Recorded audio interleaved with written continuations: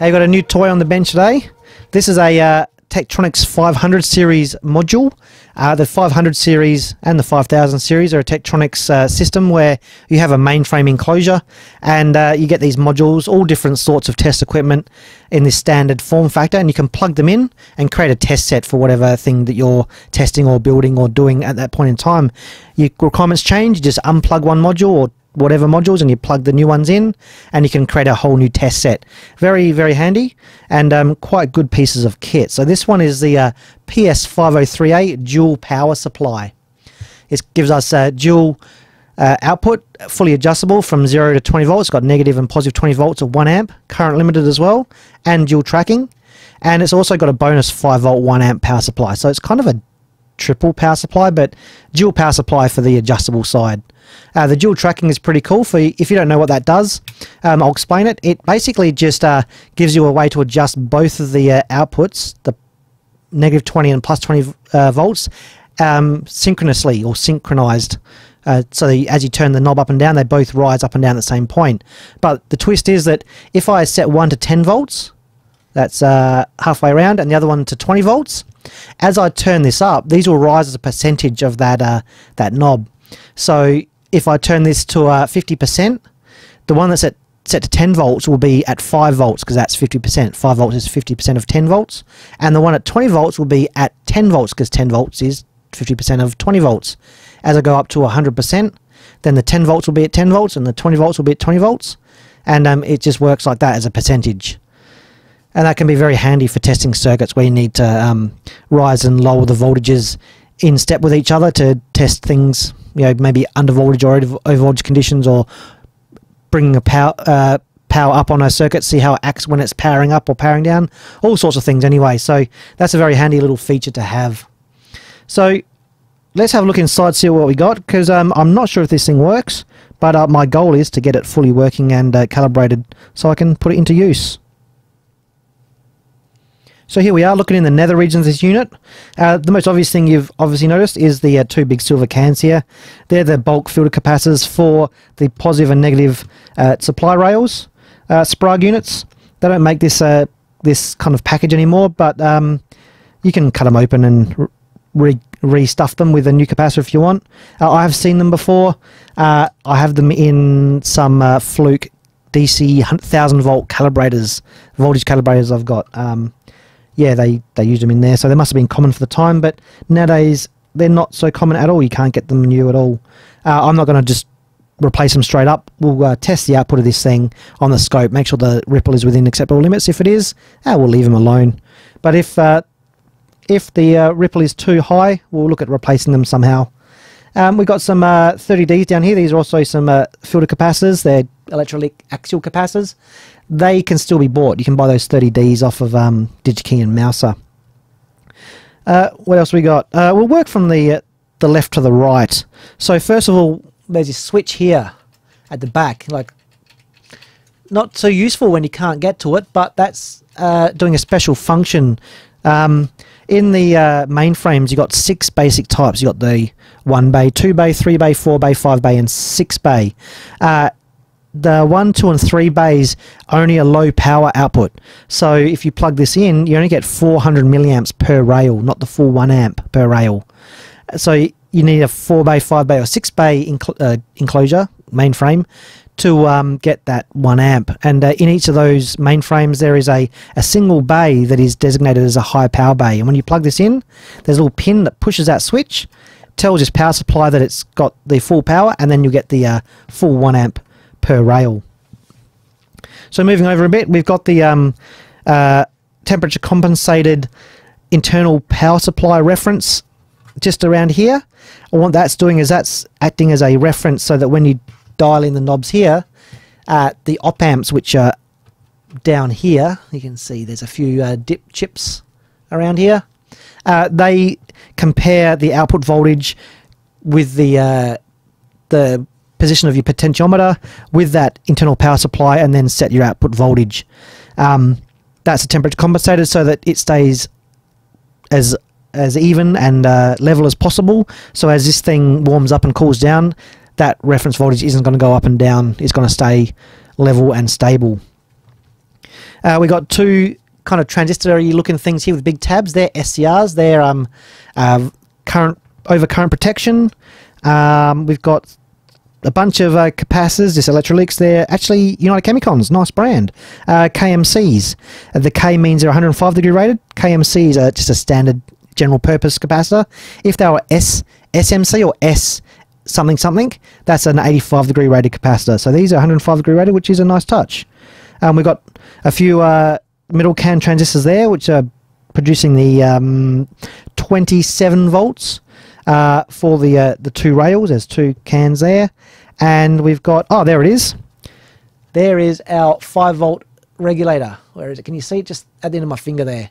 That's just a jelly bean part. That's a, a uh, 7805 uh, TO220 package, just bolted to the um, aluminium frame for heat sinking, and that's given us our um, 5 volt 1 amp. Nothing too special there. It's going to be a basic linear regulator with a couple of capacitors either side of it. Uh, not too much going on there at all. We've got our two full bridge rectifiers, everyone's favourite, sitting there, one for each rail. And looks like we've got two big carbon resistors, so I might um, give those a test, make sure they're within spec, because I have found them to drift a little bit. So there's um, that's pretty much all we got really. It's a bunch of passives and whatnot. Oh, there's our two calibration pots, one there and one just down in there. There it is, behind that capacitor. So that's how we uh, calibrate our 20 volt output. So we might have to tweak those uh, once we give it a test. So let's plug this into a mainframe, turn it on, see how it performs. Alright, so I got this thing plugged into my TM5006 uh, mainframe. I don't have a 500 series 6 bay, 5 bay or 4 bay mainframe. Um, only the, the the 5000. That's a newer version, slightly different voltage than that like in from the uh, backplane connector, but nothing that's going to affect us today. Uh, the one, two, and threes, I've got a bunch of them. I've got three singles, uh, two doubles, and two triples, but I don't have any four or five, so I've got to use this big stonking unit with a noisy fan and that, but we'll make it through anyway, along with the noise. So uh, I'll turn the unit on. Uh, we'll plug into the, we'll try the negative one first.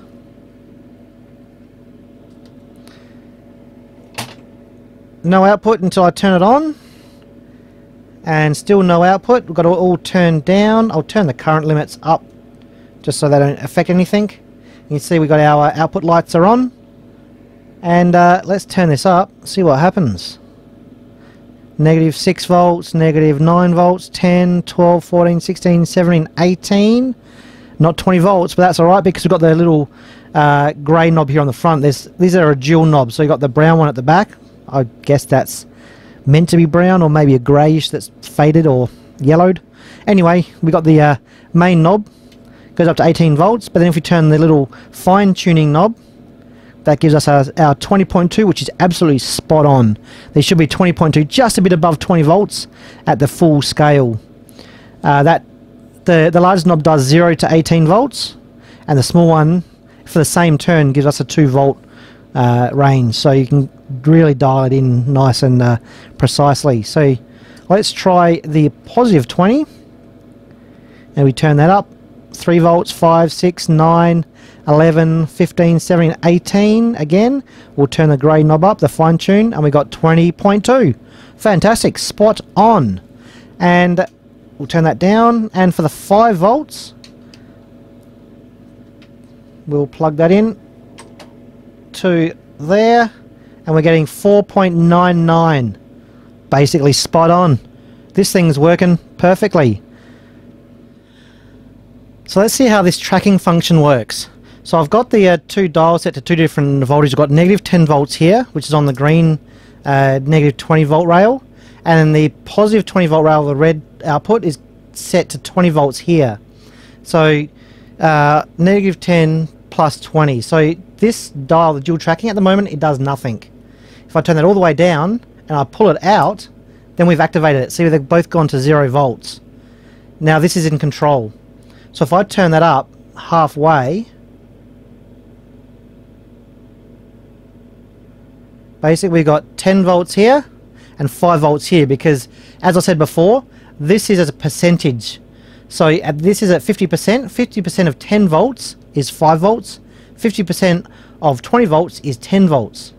So as we go up, you'll see they go up in proportion to each other as a percentage of this dial. So, you know, there's 15 and 7, so it's like 75%, and go up to 100%. We got basically 20 volts there, and we got 10 volts there. So that's what the dual tracking does. You can turn both of these up and down in relation to each other as a function of a percentage of this dial. So that is also working great. Alright, so I've tested all the uh, capacitors and they do test good. Uh, it was easy to test these, just had to desolder one side of the uh, the wires there. And uh, ran them up to their rated voltage. My HP uh, tester will um, output up to 40 volts and these are 40 volt rated. So I was able to test them their full working voltage. And the uh, ESR and the dissipation and their um, capacitance rating is um, all within spec, so that's good. Uh, these ones down here, they're 50 volts. I'll test them at 40 volts, close enough, and they're good. And I've tested a few of these uh, these uh, United Chemicons, and they're testing good as well. So there's no real reason to replace the capacitors yet. Uh, we'll see how they go with the um, the ripple on the output. We'll test that uh, in the next step, and if that's all good, which I think it will be, they can just stay in there. Um, I also replaced these two resistors, the carbon composite resistors, because they had drifted, so they've been replaced with, uh, I think that's metal oxide, those ones. Um, 3 watts or something there.